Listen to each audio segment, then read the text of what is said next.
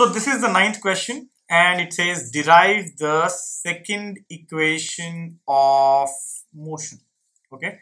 So we have to derive the second equation of motion and the second equation of motion is given like this S is equal to ut plus half at square graphically. So before that let's understand what this meaning of second equation and all. So as we had seen in the previous problem let's draw a path straight path. Okay so let's say this is the journey okay? And uh, this is point A. And the body is moving from point A to point B. So at point when it was point A time was let's say t1 and at B time was let's say t2 okay? And in this case let's say t1 is equal to 0 or or let it be like this. General case we'll describe and then we'll come to this equation. Okay? So t equals to t1 particle is at A, T is equal to T2, particle is at B. And at the same time, if you see the initial velocity U at this point is U, at A is U, and the velocity at B is V, right? And we are assuming that there is a case of uniform acceleration and acceleration is in this direction, right? So the particle was here at t equals to T1 particle is at here at E equals to T2 in a straight line motion.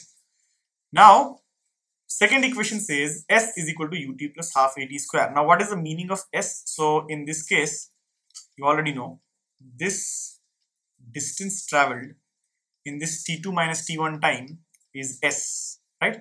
So, what are the terminologies used here? So, let me use, yeah. So, S is what? S is distance traveled. Since in this case, it's a straight line motion, so whether it is distance or displacement hardly matters. We are assuming straight line motion in one direction, so distance is equal to displacement. So we am, I am saying s is equal to distance. What is u? u is initial velocity. Initial velocity, isn't it? And what is v? v is final velocity. Final velocity though in the second equation of motion v doesn't figure out or it doesn't appear in the second uh, uh, equation of motion but these are anyways the five players in all equations of motion. So this is acceleration correct? And t is time. So these are the usual notations. Now graphically it says you have to find out graphically. So let's understand uh, what all graphs have we anyways learned? One is position time graph or displacement time graph and another one is uh, velocity time graph. So in this case, we will be using velocity time graph because we have an idea that velocity time graph area under the velocity time graph gives you displacement or distance traveled in case of straight line motion. So let's say this is V on the y-axis, T on the x-axis and let me draw uh, graph. This is the graph of the you know given motion. Okay, so let's say we are starting from t equals to t1. So here instead of uh, any other t1, let us say t1 is equal to 0, right? And t2 is equal to t. Okay, so this is t is equal to 0 and let's say this is t is equal to t. Okay, time is t, general time t. So what is the where is or what is the velocity of the uh, particle at t equals to 0 and t equals to z, z uh, t equals to t. So velocity here is u, initial velocity, and velocity here will be v. Let's say this is my point, this is v, and you have to expand this curve going up. Okay, sorry, not this color. Let me use the same color which I used for this axis, and here it is. Right? So this is v2 okay let me use now this color v2 oh. okay so this is v2 v2 v1 not v2 sorry. My bad it is v anyways. So u and v right? And this is the time t. So at time t velocity is v at time 0 velocity is u correct and we have to simply find out area of this triangle. So let, let's name this triangle. So what is this?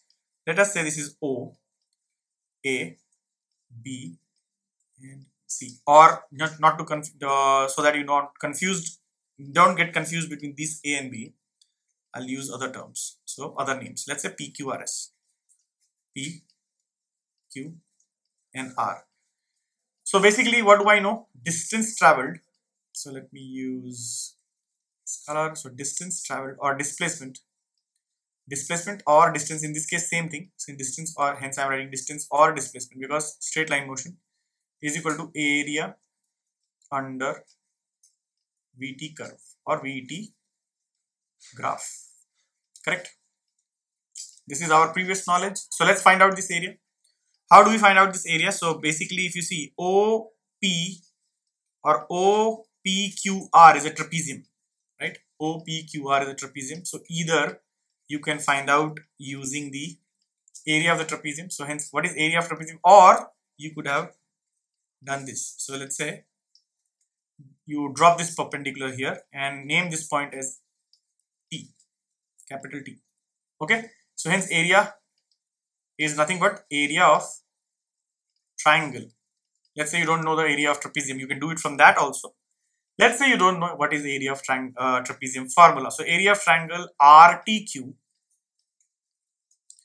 plus area of area of rectangle O P T R. Is it? These are two things. So what is the area of triangle RTQ? So we need base and height. You know that. So this gap here is how much? Clearly V minus U. Check. Right. Total is V and this one is U. Isn't it? So let me draw here. So this is V and this one is u you can check from the figure so hence this is v minus u